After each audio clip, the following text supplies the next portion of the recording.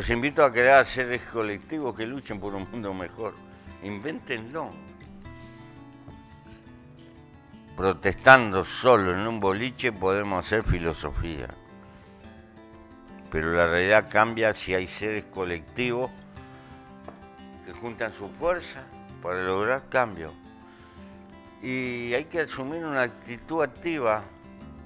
Eh, es lo único que puedo decir.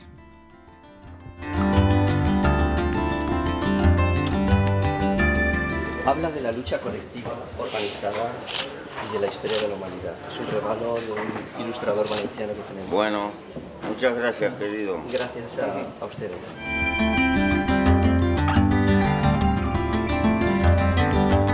Eso es lo, lo que le permite a Argentina salir siempre.